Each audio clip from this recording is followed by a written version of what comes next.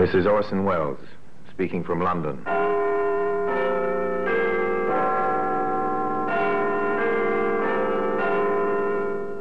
A repository of death.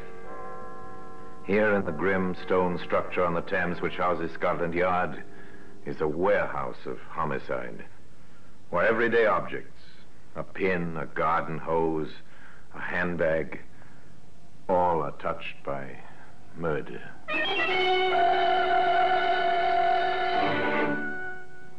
Here's a car tire.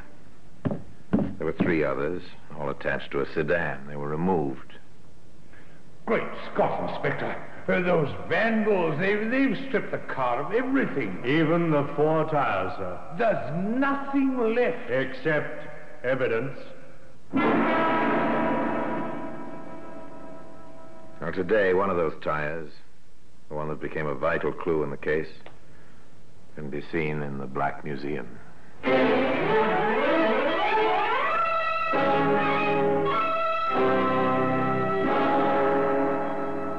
the annals of the Criminal Investigation Department of the London Police, we bring you the dramatic stories of the crimes recorded by the objects in Scotland Yard's Gallery of Death, the Black Museum.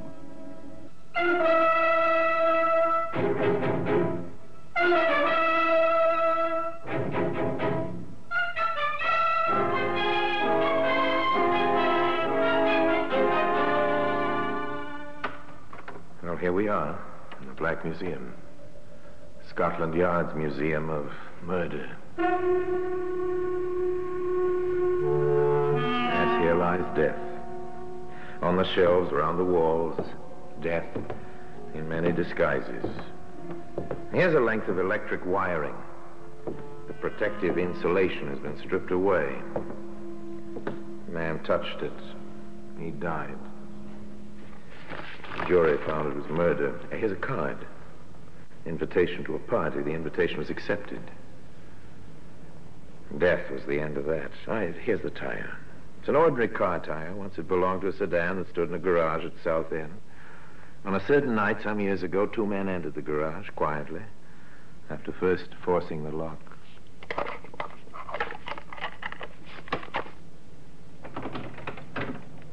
There we are, Ted. Good work, Harry. Look at her. Brand sparking you. And she's ours once we get her out of the garage. Ah, quietly does it. I'll take up the brake.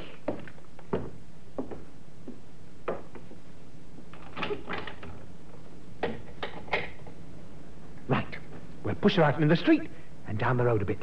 Okay, I'm ready. The object of this stealthy midnight visit was a new car. The two men pushed the automobile down the slope of the road, jumping in when the car began to gather speed. All right, Harry. Get in. Oh, nice going. Get us started, Ted. Right.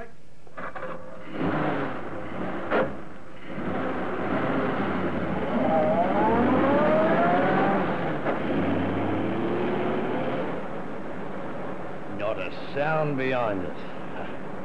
We got away with it. Ah, it was easy. By morning, we'll have everything we want off this car. Tires, spare parts, the seat. And then we'll ditch what's left, eh? We'll make our fortune this way, Harry, my boy. Sounds easy money. It is. Come on, I'll show you what this car can do. Flat out.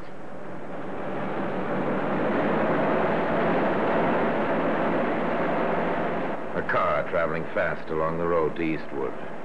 Its twin lights cutting beams in the darkness of the night. And a policeman cycling homeward. Hello? What's that up there ahead? What? A man in the center of the roadway. Oh, wait till our lights pick him up clearly. It's a it's a copper. Oh? And he's got his hand up, signaling us to stop. Ted, you don't think What, the word's got out this car's been pinched? Not a chance. And what's this copper doing? Oh, might want to lift home. You never know. There's his bike at the side of the road. Ted, I don't like Take it easy, will you? We'll bluff our way out. If he makes trouble, I can handle him. Well, go easy on using that gun. Leave it to me. Good evening, Constable. Anything the matter? I'll, uh, I'll have to ask you not to speed like that along this road, sir. Were we speeding? Well, I, I think you know you were, sir, you know. There's been a number of serious accidents around here lately. Oh, dear. Uh, now, may I see your license? My, my license? Uh, yes, sir. Yeah, funny thing, I'm afraid I don't have it on me, Constable. Then I'll have to request some other means of identification, sir. Well, I, uh... You know, I, I haven't anything on me at all.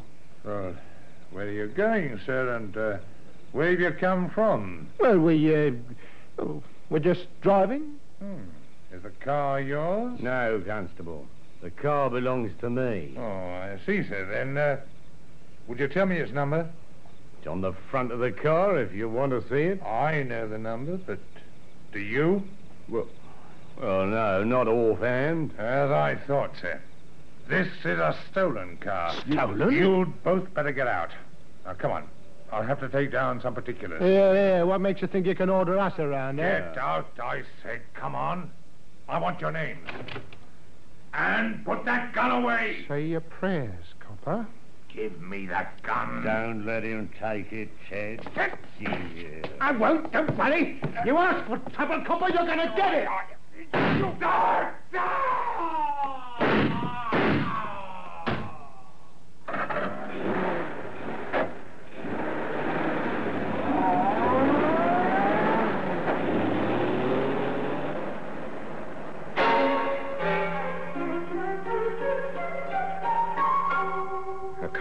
drives away.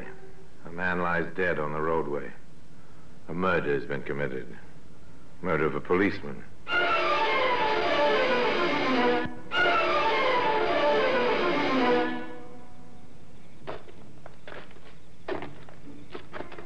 Lovely morning, George. You wouldn't think it to read a morning paper, Tom.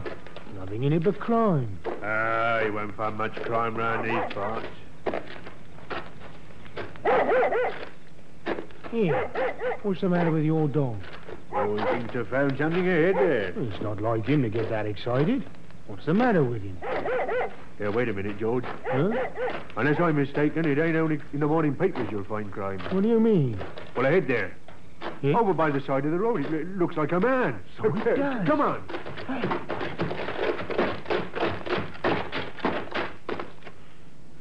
Why, it's Charlie Acker.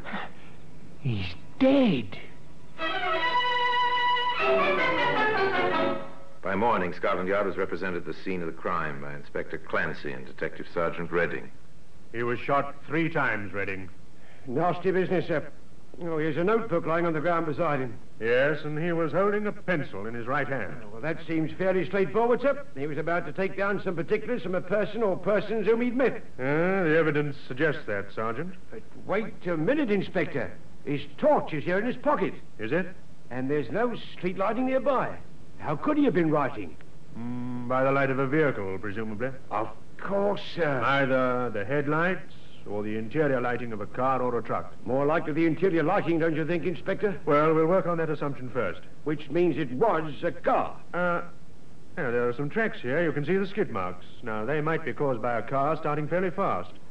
I want those tracks photographed. The photographs were duly sent to certain experts at Scotland Yard, and a report came back to Inspector Clancy. Report from the yard, sir. Yes, Sergeant Redding? Those tracks were made by an Evans car. An Evans, eh? Get a full list of all stolen cars within a 50-mile radius. We'll see if there was an Evans amongst them.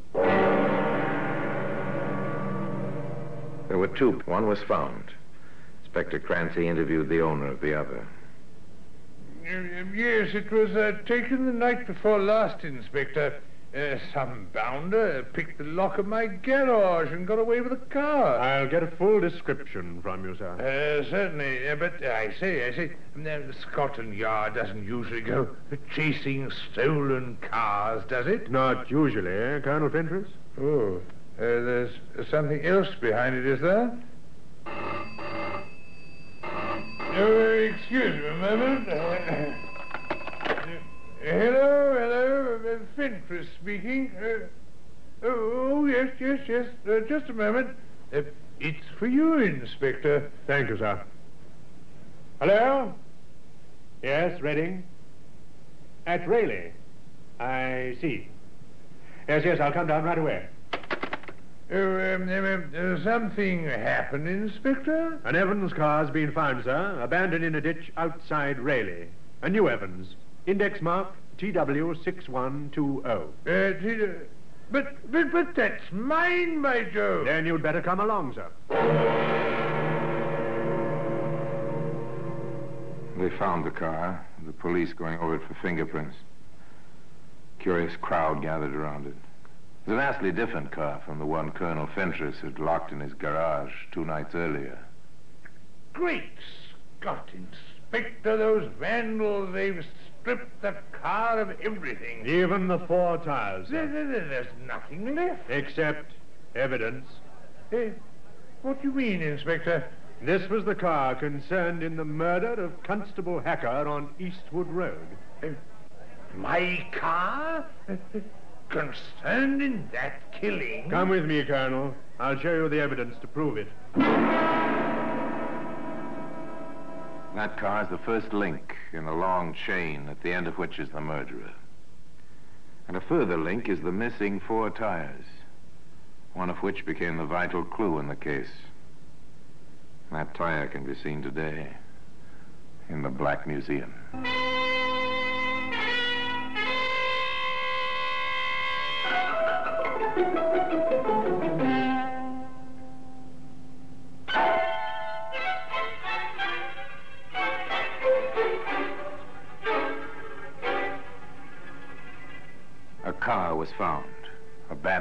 Ditch outside Rayleigh. You can see for yourself, Colonel Fentress, on the running board. Eh, a dark stain there. It's blood? Yes, it's blood. And see this? Eh, oh, a spent cartridge case. It was found on the floor of the car. Then uh, my car was concerned in that poor fellow's murder? We'll make confirmatory tests, of course. The blood stain will be checked against the constable's grouping, and the cartridge case will go to ballistics. These routine checks must be carried out. But Colonel Fentress knew, and Inspector Clancy knew, that the driver of the stolen car had taken part in the policeman's murder. And knowing this, the inspector was able to reconstruct the crime.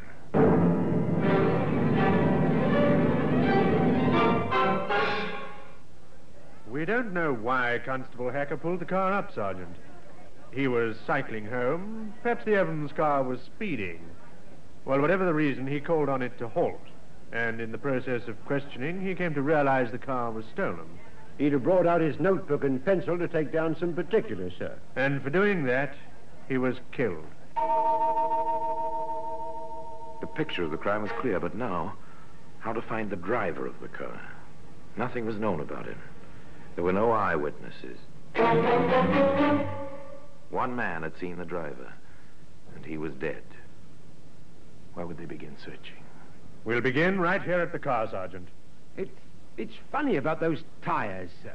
Very funny. But not only the tires are missing. No, the toolkit's been taken, and the jack, and most of the spare parts. The windscreen wiper's been removed, so have the headlamps and a car radio Colonel Fentress had installed.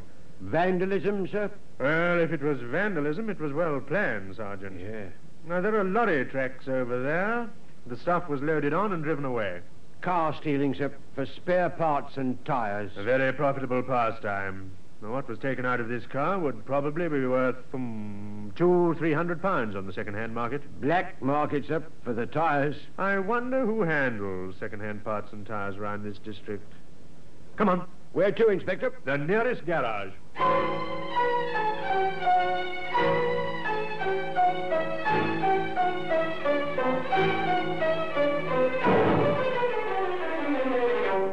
They found a garage less than half a mile away. The proprietor, reassured that he was not under suspicion, proved to be helpful. Spare parts and tires. Quite a few places round here who handles them, Inspector. Uh, could you list them for us, sir? Certainly. Come into the office. There were six names on that list. Six visits to make. Sergeant Redding made them, posing as a driver in search of new tires. Oh, good morning. I need four new tires for an Evans car. Can you help me out? Williams and Sons were sorry they hadn't had any tires to sell for months past. Field and Company said the same thing. So did Hammond and Barton, Kennedy and Sons. Then Sergeant Redding paid his last visit, the sixth name on the list.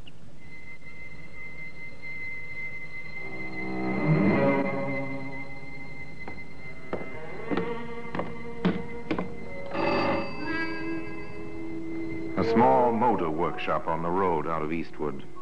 A car was being overhauled by a mechanic. A lorry stood on a vacant block of land beside the workshop. A sign at the front of the building said, Randolph and Burns, motor engineers and spare parts. Yes, sir? Oh, I need four new tires for an Evans car. Can you help me out? An Evans? Do you own an Evans car? Oh, not me, chum, no. That's for the governor. I've been everywhere trying to get these tires. Well, you know, I might be able to set you up. Of course, they're in short supply. We'll pay whatever you ask for them. Okay. Ted, Oh, Jack! here a minute, will you? What is it? Fella here wants to buy some Evans tires. Huh? Chauffeur, aren't you, mate? Yeah, that's right. We can set him up, can't we? No, we can't. But Ted, he'll pay the right I tell you, we can't. We can't set him. Now, can we when we haven't seen an Evans tire in months? But Ted... People just don't bring us second-hand tires anymore, mister. Sorry.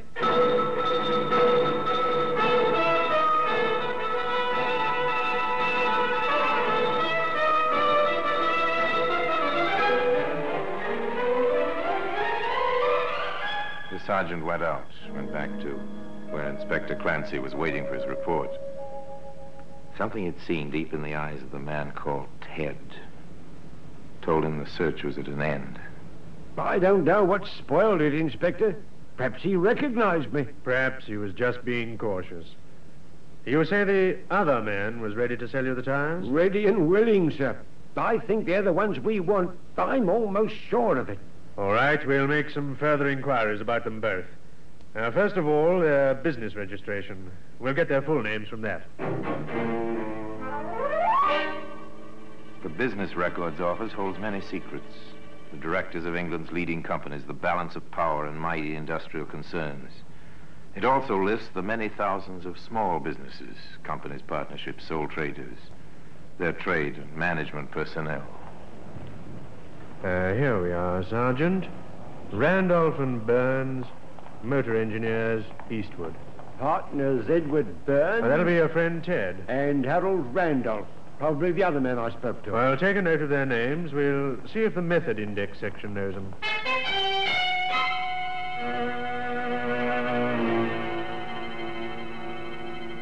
The Method Index section at Scotland Yard.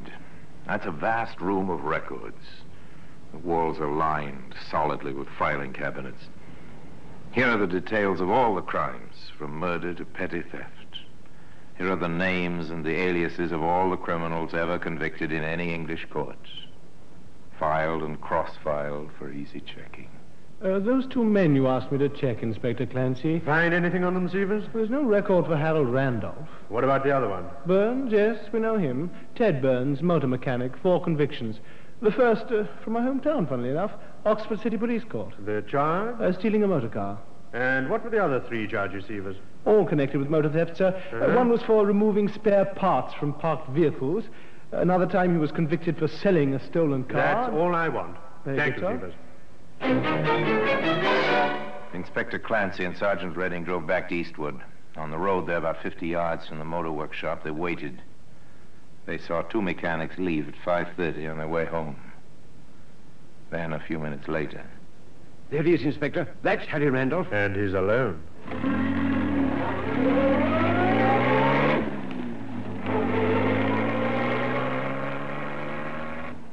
it was a very peaceful scene. The casual passerby would have noticed a dark sedan slowing down beside a thick-set man in overalls.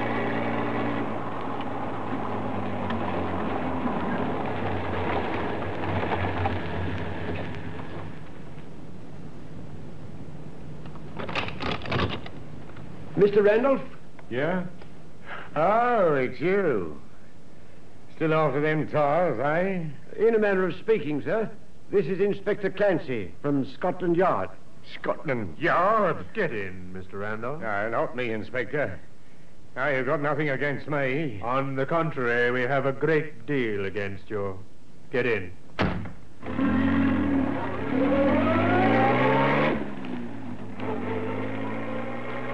Randolph was defiant at first, but when the advantages of turning King's evidence were pointed out to him, he became almost verbose. It wasn't me who thought of the scheme. I, I was talked into it by him. The scheme being to steal cars, sell their spare parts and tires, and abandon them? Yeah. Ted said we couldn't get enough parts and tires to stay in business otherwise. He talked me into helping him to pinch the Evans. Well, go on. Well, everything was sweet, and then on the way back to Eastwood, the cop signals us to stop. Tells us we were speeding. He'd have got our names and all. So you shot him, dead. I, I- I didn't do it. Ted shot him. The gun's hidden in the desk down at our works. His fingerprints will be on it. I told him not to shoot. He, he wouldn't listen. We took the lorry down and got everything we could from the car and brought it back. And where is that stuff now? Well, some of it we sold, and three of the tires went off late today. I would have sold a lot to the copper here, but Ted was wise to him. He, he can smell coppers. Three were sold. Then one tire is left on the premises? Yeah. But listen, won't you? I, I, I might have helped to pinch the car, but I'd nothing to do with the murder. Ted did that. He shot the copper. A report on the tire we found on the premises, sir. It comes from an Evans car, all right, and matches the tracks near Constable Hacker's body. Then our case is complete, Sergeant. The gun was found, the fingerprints on the wheel rims belong to Randolph and Burns, and now the tire.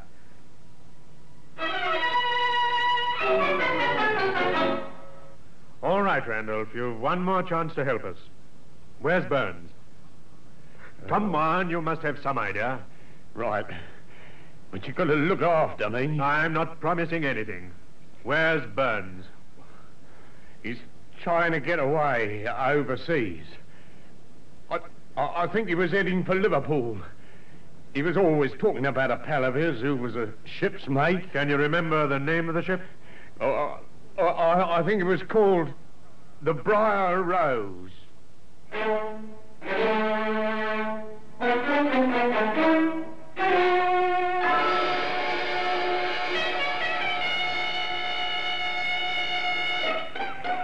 I have reason to believe your name is Ted Burns. Ted, what? you got the wrong man, Sam. I don't think so, Mr. Burns. I have here a warrant for your arrest on a charge of murder. Hey, you got nothing on me? You got no evidence. Oh, yes, we have, Mr. Burns. All the evidence we need. And today, that tire occupies a place in the Black Museum.